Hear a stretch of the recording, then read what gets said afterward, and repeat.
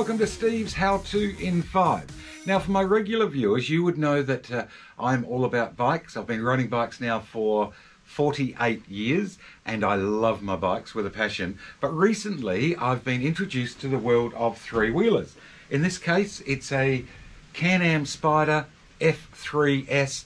It's a triple cylinder 1330cc and the Australian version produces 115 horsepower. This is the sports version, the F3S or the Roadster. Um, there's also the touring versions.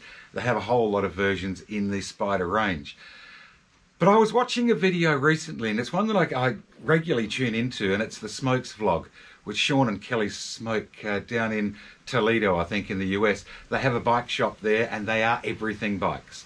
And it's great to have a look at a good cross section of bikes. But one of the things I noticed, Sean was filming a Sea to Sky. Now that's the touring version of these. I think they used to call it the RT with all the big boxes and everything for touring.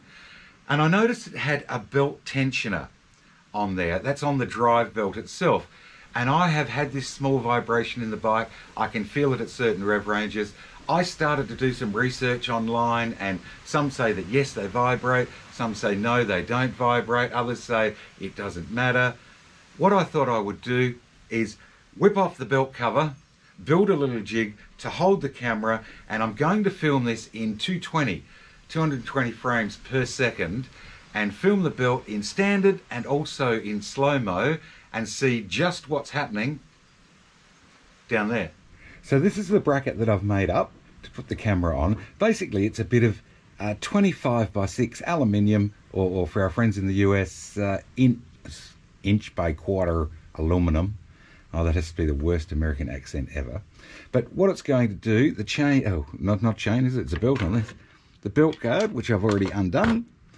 The bracket will mount here onto this lug and this lug here. And I've got it angled, I've put about three degrees on here. So hopefully we're going to look at the belt at about this point here, which is roughly center of the belt. I've measured between the two pulleys and that's come up with uh, in Imperial, what has that come up with? About 40 inches. Um, so we'll pop it on, do a bit of filming, and um, I suppose I should introduce you to the workshop foreman. This is Ralph. Ralph oversees all of the projects here. He's the chief engineer at Steve's How To in 5. So, Ralph, are we ready to go? Let's pop it on, give it a try. This is just a look at the camera mounted on the bracket on the side of the bike. Now in this first run, what I do is I actually um, uh, accelerate quite hard here, first, second, third, fourth, um, through to about fifth gear. And under high acceleration, doesn't seem to be a lot of movement, that is in normal time.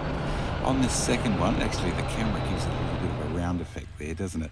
I just go up gently through the gears here and at this stage, I'm thinking, well, there's actually not that much movement. Um, there's a little bit there, but it doesn't seem too bad.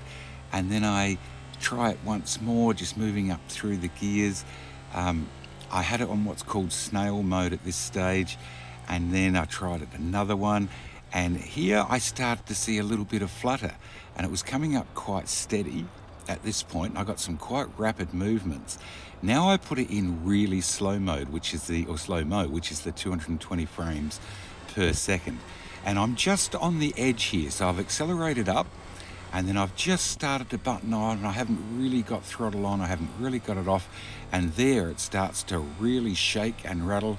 Then I accelerate on in top gear and you can see it's got a rapid movement. It really starts to bounce up and down. So I've, I've got the throttle just on that edge where you're not quite accelerating, but you're not quite shutting off. And that was the point that it really, when it was lightly loaded and then started into heavy load, one more look at it, and here you can see it's quite violent. Um, it really does get a lot of movement.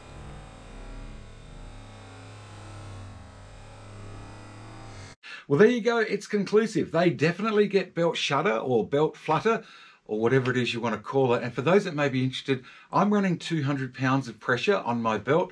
I know some people up around the 240.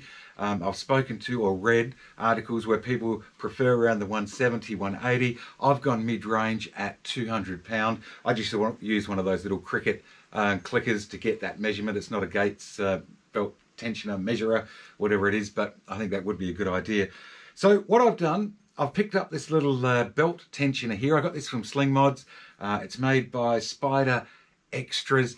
I'm going to fit that up. It will be a separate video. I'll put the camera back down and we'll do basically the same thing again, but with the belt tensioner on. So don't forget to subscribe. And um, if you like the video, give us a thumbs up. Oh, and also, I've moved into the 21st century.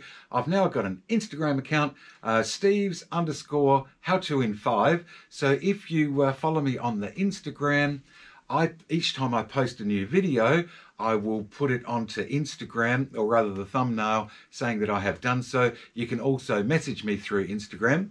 Um, I think that's it for now. So until next time, cheers.